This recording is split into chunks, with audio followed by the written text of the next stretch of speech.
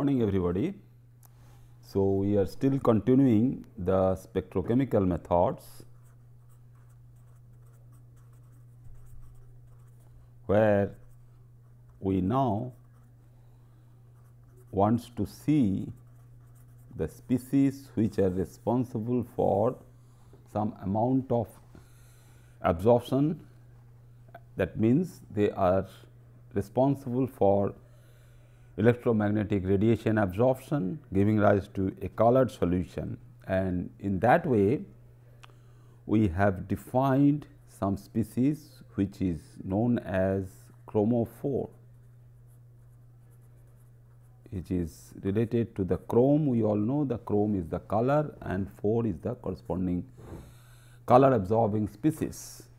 And we have just also seen in our previous class that if a particular bond is made up of a double or a triple bond and we are just simply looking for the pi electron density or pi electron cloud even it is present in your simple benzene ring. Because all we know that in a particular benzene ring we have that delocalization of the pi electron above this plane and below this plane. So, whether we can excite these pi electrons, the pi electrons are confined between these two centers that means it is confined to some carbon center to another carbon center or some other heteroatom and during this process whether that particular radiation can be absorbed by all these species and we can get some information about the corresponding binding that means the bond nature of the bond how many of those types of bond are present and whether they are in the conjugated form or non conjugated form. So, one such thing that we know all that this is the thing that where we have the double bond we consider that these are the alkene species and these are your alkyne species. So, how do they absorb and how do they respond to electronic transitions and how the electronic absorption spectroscopy can help us to characterize the alkene species or the alkyne species.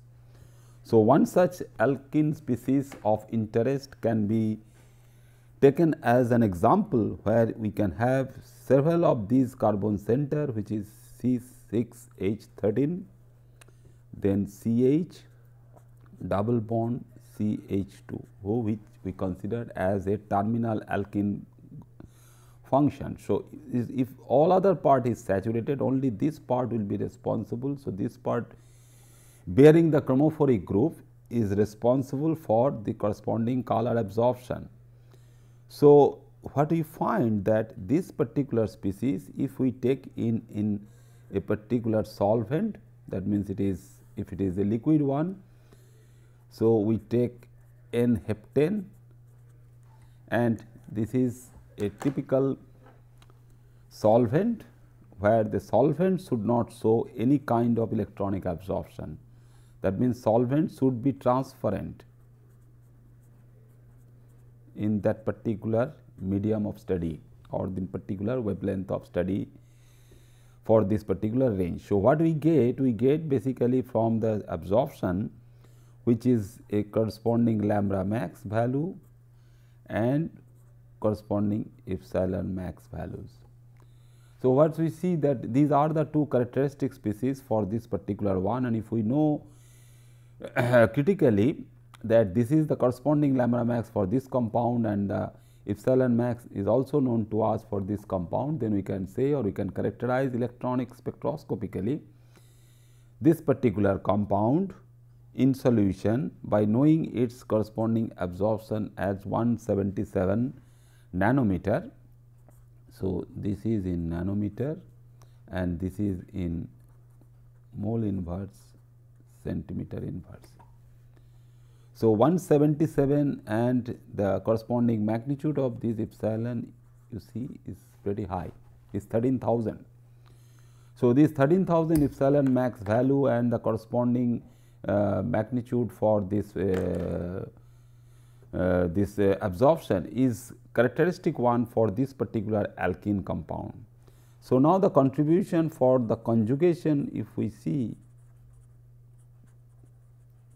that will bring this particular double bond. So, pi pi conjugation like this thing we see that there we have the one then the single bond and then again double bond what we consider for the benzene in the Kekulé structure, but later on we know that this is the thing that where the entire pi electron the 6 pi electrons are delocalized over all the 6 carbon centers of the benzene ring.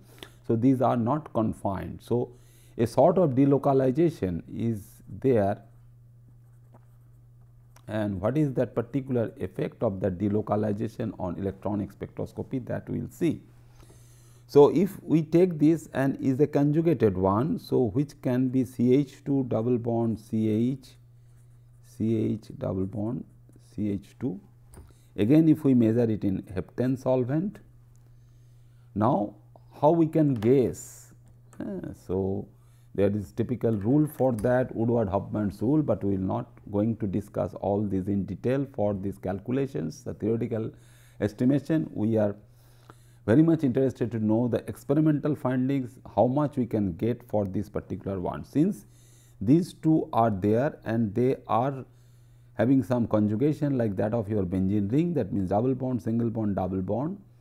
So, this particular pi electron cloud for these two particular double bonds will be delocalized. So, the corresponding energy for this separation if we are looking for this pi to pi star transition say what we are looking for this pi to pi star transition. This gap we all know this is the delta E values and due to this conjugation or the delocalization of pi electron what we will see that the energy of this particular separation will decrease.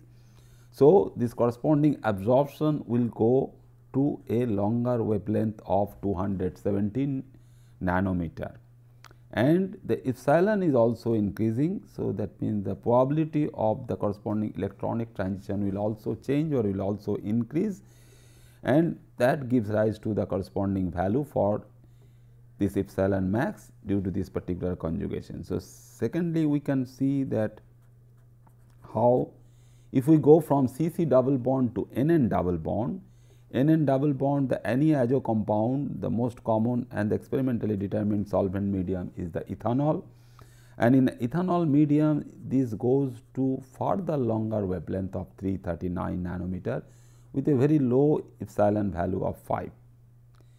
Then if we can go for this characterization that means the benzene characterization whether we have a benzene in the solution or some other compound so, the aromatic compound like that of our benzene can also be characterized when it is studied in hexane.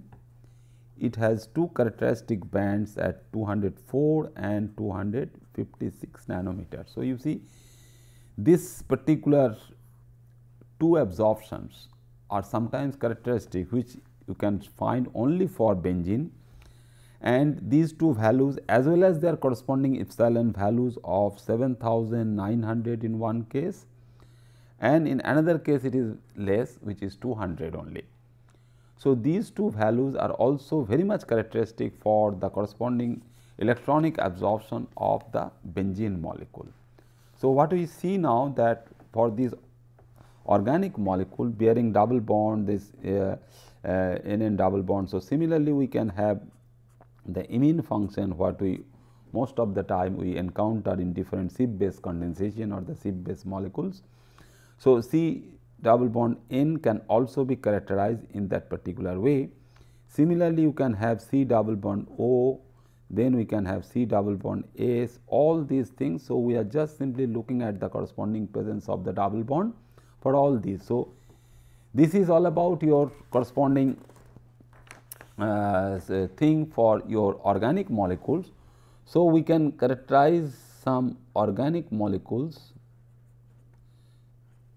then some biomolecules also we can characterize which are very interesting though. So, some biomolecules are also and some drugs also, drugs and medicines also. So, if we have some organic backbone and all these having some pi electron density or not only pi we all know that we can have the sigma electron density then pi electron density and n the non bonding electron density. So, if those all can be excited and we can find some absorption, so we see the characteristic absorption spectra for all these molecules. So, some example for this is, is taken from that Skoog's book again that how the corresponding absorption spectra looks like for beta carotene. We know is present in the carrot and the color the corresponding color of the carrots, the orange to red color of the carrots are responsible for this sort of absorption. So, this particular color as you know that beta carotene is present in carrot. So, immediately you can say that okay I know that that is the thing that you have the corresponding absorption close to 500 nanometer in one case and another one is at 450 nanometer due to that particular color. And this is therefore, what we measure that how we measure and what we measure in a particular spectrophotometer is a simple one that we scan it in the axis where we have the wavelength in nanometer. So, this is the lambda lambda wavelength value for 350 to 650 nanometer and in most of these cases we find that depending upon its corresponding position so, this is in the visible region. That is why we are talking about the yellow and orange color of carrot. And you see the corresponding epsilon values because the absorbance can be converted because in terms of the corresponding Beer's law we have seen A is equal to epsilon B C. So, A what is measured by the machine the spectrophotometer can be recalculated for its corresponding epsilon values once we know the corresponding solution concentration of the species or the analyte responsible for your absorption. So, you see that these values are pretty high close to 80,000 or something like that. So, 70,000 to 80,000 of these epsilon values. Now, another active ingredient is the caffeine which is present in coffee and tea. We all know this is a typical heterocyclic, so bicyclic molecule so, structure is pretty complicated though and you have 4 nitrogen atoms along with carbon, hydrogen and oxygen. So, this particular structure can also have a very characteristic absorption spectra close to 280 nanometer. So, this 280 nanometer can be a complex thing where you can have this C double bond N, this C double bond C, this C double bond O and C double bond O so, overall the ground state energy value that means the E1 can be defined by the combination of all these molecular orbitals for this particular molecule which is responsible for the corresponding absorption at say 280 nanometer giving rise to a corresponding epsilon value of above 1000. Then we know that the drug molecule we all know that the painkiller we always consume the aspirin uh, the acetyl salicylic acid molecule. So, this acetyl salicylic acid molecule can also have some characteristic absorption spectrum close to 285 uh, or 280 to 285 is typically some broad absorption spectrum for that and then epsilon value is not very high it is in the around of 400, but these two are very much characteristic for the analysis. So, if your analyte is the drug molecule, if you want to analyze the acetyl salicylic acid or the aspirin molecule we can go for this for direct acid based titration as we all know because this is simply this part is simply the corresponding aromatic benzoic acid part and this is also the phenol part which has been acetylated because the salicylic uh, acetyl salicylic acid what is been derived from your salicylic acid through acetylation. So, salicylic acid is nothing but is orthohydroxybenzoic acid which has been acetylated. So, this will be very much characteristic and the electronic spectrum for that is different, different from that of your salicylic acid. So, this value can be characterized and compared if you also want to monitor the purity of the drug molecule. So, in that way also the pharmaceutical industry always rely on this sort of spectroscopic measurements to analyze this particular molecule first and then its corresponding amount present in the tablet in the syrup and all these things because this particular one is directly related to your concentration of the aspirin molecule present in the analyte. Then if we want to see something for a typical and a simple molecule which is acetone which can also be utilized for a solvent as a solvent because several organic molecules, inorganic complexes and other materials can be soluble in acetone. So, if your acetone has a corresponding band at 270 nanometer, we should be very much careful about using this as a solvent for measuring other analyte because this absorption is starting from 310 nanometer with giving a very broad spectrum up to 215 nanometer. So, within this range we should not use any other analyte to be characterized in terms of its unknown concentration in this medium because acetone itself will have a very broad absorption spectrum centered at 270 nanometer due to the presence of this C double bond O bond having some pi electron density between this carbon and oxygen double bond. So, this has also been there in the Skoog's book. So, this is some uh, parts for these molecules in the organic compounds, but what about the metal ions because we are talking so much about the corresponding uh, manual titration, the acid base titration, then some amount of gravimetric estimation and all these things. So, this basically this particular uh, PowerPoint slide is giving you some example again in from that particular book and because always I am referring you for that particular book because you should follow that particular book and it is the particular information what you gather from here can be applied to anywhere else. So, these metal ions say metal ions are nickel, chromium, copper and cobalt. So, we all know a simple standard transition metal ion like that of our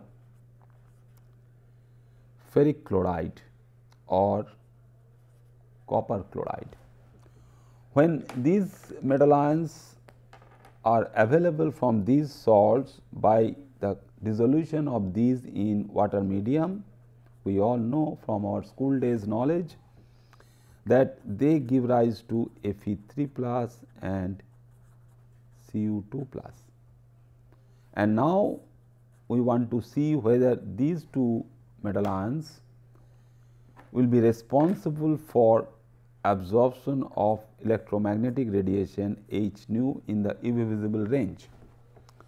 So, when water is present we all know that water is a very good ligand So, this particular one will be surrounded by several water molecules hmm. and in most of the cases that in these two examples it is the 6 number which will be bound to this particular central metal ion centers which are hexa coordinated. So, if these two are colored because sometimes they are very faintly colored. So, we will be talking something related to the transition of those electrons from the level of E1 to a level of E2, we want to promote that particular electron from this lower level to the upper level by the absorption in the UV visible region, but these are present. So, what we are looking for these are transition metal ions iron 3 plus and copper 2 plus are transition metal ions. So, these transition metal ions will have the d electrons So, these d electrons are there. So, like that of your sigma pi and n electrons in the organic molecules, the d electrons if they are promoted. So, one d level to the other d level as we all know then the octahedral geometry most simplified approach for the corresponding d orbitals we all know that we have 5 d orbitals and these 5 d orbitals in octahedral crystal field can be splitted so, if some electron like this is present in the lower level, this can be considered as the lower energy level after crystal field splitting. This can be promoted. So, what we get here that is known as your DD transition, which will be different from that of your transition corresponding to n to pi star or pi to pi star or sigma to sigma star transitions. So, these species along with the metal ions like nickel 2 plus then chromium 3 plus or cobalt 2 plus. How we can characterize these? So, do they have a very good characteristic absorption spectrum due to these d electron transitions? Because this corresponding separation, this gap compared to this other previous one is energy difference is there, but the difference in magnitude. So, you have a corresponding absorption peak what we are looking for. So, we are looking for the corresponding absorption peak in this particular electronic transition will therefore depend on what are the factors on which this particular electronic absorption which is centered on the metal ions. So, the metal ions are containing some d electrons and those d electrons are responsible for these transitions will be depending on the position that means how many electrons are present in a particular oxidation state and what are the total number of electrons present in it that we all know that the Ni 2 plus we conventionally we tell that is a 3D 8 system. So, in the periodic table the position in the periodic table is important that tells you that this particular will have in the bivalent state 8 d electrons. So, how these 8 d electrons will be arranged in all these available levels and which particular electrons will be responsible for your DD transition will be dependent on the periodic table because the number of unpaired electrons will be varying from chromium to nickel to cobalt to copper to iron. Then one more important thing is its oxidation state.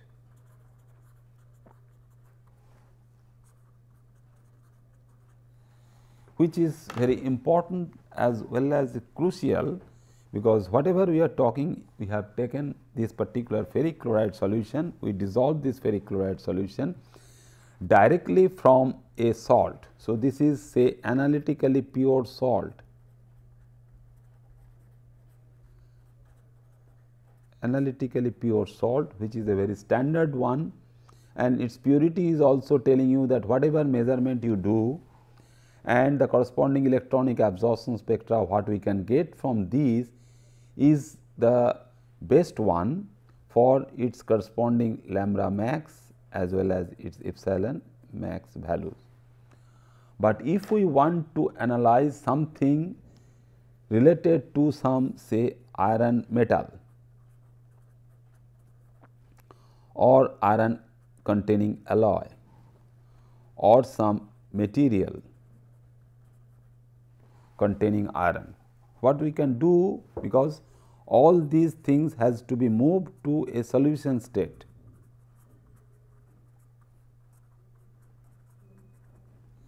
And if we use some acid such as dilute or 1 is to 1 nitric acid which is a very good oxidizing agent as well. So, in presence of that nitric acid if we treat this particular one for its dissolution from the metal itself the iron metal or some ore if you go back ore or mineral so, starting from ore to any good material, sophisticated material what is utilized for all different good purposes can be analyzed for their iron content. So, nitric acid is given. So, solution state what you will be getting you will be getting this ferric ion. So, nature of this ferric ion in this water medium and its corresponding electronic transition will be completely different compared to that of your ferrous ion. So, we are not getting ferrous ion. So, this particular absorption peak its position and its corresponding epsilon value will be dependent on this oxidation state. So, take this example of the presence of chromium 3 plus that will be showing in the uh, the corresponding PowerPoint slide is that if you have chromium 3 plus and we have to use some other one because chromium we all know this is a good component for your uh, stainless steel and any other material. So, it is alloying material or alloying metal. So, this initially we know that the chromic chloride if you have you can dissolve that chromic chloride to get the corresponding chromium in the 3 plus oxidation state. But you can oxidize it initially to chromium 6 plus by some fusion technique. So, any other oxidizing agent or some oxidizing flux can oxidize this chromium 3 plus to chromium 6 plus and this chromium 6 plus which can be present as chromate. Now, they are not present as the bare chromium 6 plus. So, they will be present in the chromate form. So, the chromate form is stabilized in the alkaline medium. If you acidify it by H plus, it will be converted to Cr2O7 2 minus. That means, it will be directly converted to the dichromate species. So, to how to analyze this dichromate species present in the medium? So, that will indirectly tell you that your original material have this particular chromium 3 plus which has been oxidized to chromium 6 plus and then is dimerized to dichromate. So, if we know that the dichromate has a characteristic absorption spectrum, so that we can nicely identify by knowing its corresponding absorption is corresponding molar absorptivity, we can find out very nicely the presence of dichromate in the medium which is deriving we are deriving it from a chromium containing metal ion, chromium containing ore or a chromium containing other material. So, you see all these things that the oxidation states like 3 plus, 6 plus and this is also 6 plus, but in the dimerized form. So, these two are slightly different.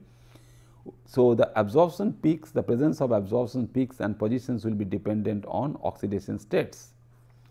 Then its corresponding nature of the ligand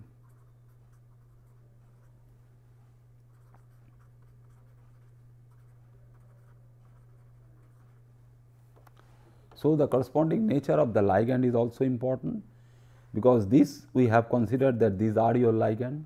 So, if we move from there that means if your solution is present and if you add some amount of simple ammonia aqueous ammonia if we add or if you add some other solution containing cyanide ions. So, these will directly go and bind to the metal ion center, but your electronic spectra will change due to the binding of this ammonia, due to the binding of this cyanide. So, these are the very characteristic examples for the changing the corresponding electronic spectroscopy by changing the corresponding nature of this ligand, because these water molecules which are very loosely bound to these iron center will be replaced by ammonia, then by the cyanide groups. So, what we see that in this particular case you have this dichromate will have the characteristic spectrum at say it is uh, in the range of say 350 or 360 nanometer having a characteristic epsilon value also. So, this dichromate characteristic peak in solution state analysis can give rise to the presence of the corresponding chromium in any unknown solution. Similarly, the nickel will have a different absorption, it can have some broad bands in this particular range also in the low energy range but this can also have a characteristic one at 400 nanometer, but the epsilon value is not very high. Similarly, the copper gives a very broad one because if we go beyond 7 or 800, it gives a very good characteristic one or a very broad absorption spectra in this particular range. Similarly, cobalt 2 plus is also giving at a 500 so nanometer absorption. So, looking at all these this is a typical example again taken from that book that this particular absorption, the nature of these absorptions is characteristic for these species. Also, if we do not see the spectrum, only the values are reported, the electronic spectral data we can report. So, the lambda max values and the epsilon max values for nickel, for chromium, for copper and cobalt all will be different. So, this is one point by looking at the corresponding data for all these absorptions which can characterize the corresponding presence of these metal ions and also the unknown concentration at the same time. But if we directly look at the corresponding spectrum, it gives us it gives us a very other pleasure for knowing the thing very nicely for their identification. So, all these spectra, so starting from your organic molecule to inorganic ions, we find that these are very much characteristic in terms of their electronic spectra for their identification and analysis when these metal ions are present as some unknown analyte in your unknown solution. Thank you very much.